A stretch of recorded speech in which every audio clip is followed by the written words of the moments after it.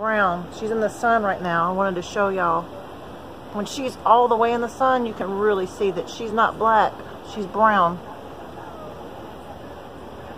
She's like one of those car paints that changes color in the sun.